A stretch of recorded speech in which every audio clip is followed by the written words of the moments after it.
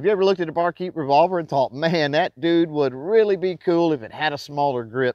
Or maybe you've looked at a barkeep revolver and thought, you know what, that barrel is just too long. I sure wish that it had a shorter barrel. Or maybe you've taken a look at the little barkeep revolver and thought, wow, that front sight blade is just stupid. I wished it wasn't there.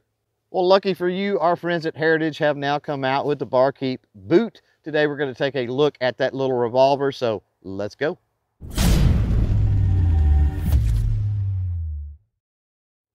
What's up crew, it's Chris with CloverTac and welcome back to the channel. If you're new here on CloverTac, we talk about all things firearm related. So if you're into that sort of thing, jump down and smash that subscribe button below. While you're down there, if you want to stay up to date on all the new content, well go ahead and click that notification bell as well.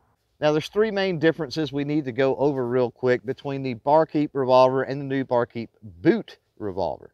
And the first difference is going to be the grip. The Barkeep boot comes standard with that, what I think is really cool and aesthetically pleasing bird's head grip. Second difference is going to be barrel length. The Barkeep boot, a much, much shorter barrel. Now this is going to be interesting when we get into putting rounds down range to see if this barrel causes keyholing. Now maybe the most interesting difference here is that the Barkeep boot does not have a front sight blade. What kind of role is that going to play on accuracy?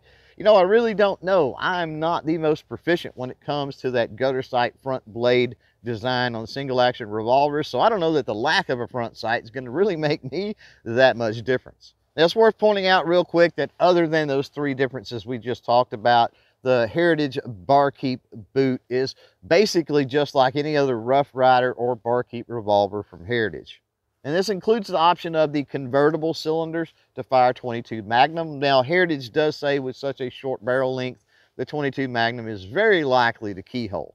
Now, unfortunately, I don't have a 22 Magnum cylinder today, so we're going to have to stick with 22 long rifle and going to be using some Federal Auto Match ammunition. Why? Because, well, quite honestly, I've got plenty of it. Now, as with anything new, we have to test the fun factor. So 10 yards downrange, I've got a 6-inch AR-500 steel Gong from our good friends at High Caliber Targets. Going to see if we can put a couple of rounds at least on the steel and have a little fun. Before we move to the live fire, safety first anytime we're on the range. Got my eyes on, got my ears in. Let's do this.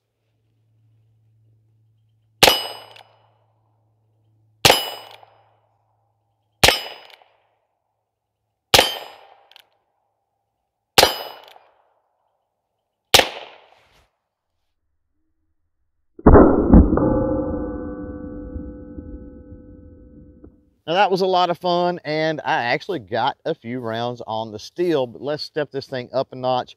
I've got two of our targets from Outdoor Products Plus posted downrange. Got a red one, got a black one. What we're gonna do is at the same 10 yard distance, gonna fire six rounds at the black target. We're gonna do a two hand style grip.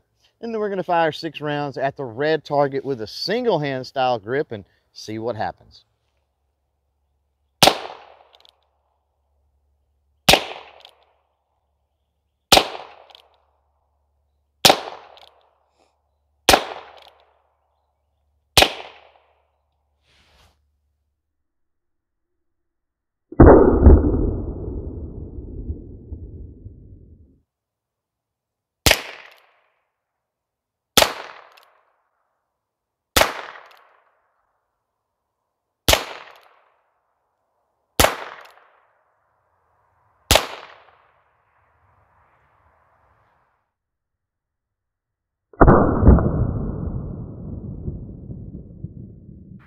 Now here we are downrange taking a look at the targets and you'll remember the one on the left is one-handed. One on the right is going to be two-handed and it looks like we got some keyholing going on. Not surprising with the short barrel length on this little barkeep boot revolver.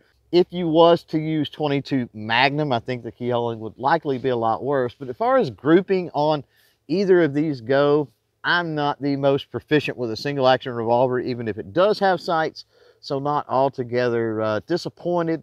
So there you go, crew. A quick look at the new Barkeep boot revolver from our good friends at Heritage. If you want to check out more content on Heritage revolvers, well, got some of that locked and loaded right over here. As for this one, we're done. So thanks for hanging out. Thanks for watching. And until next time, don't forget to chain fire freedom.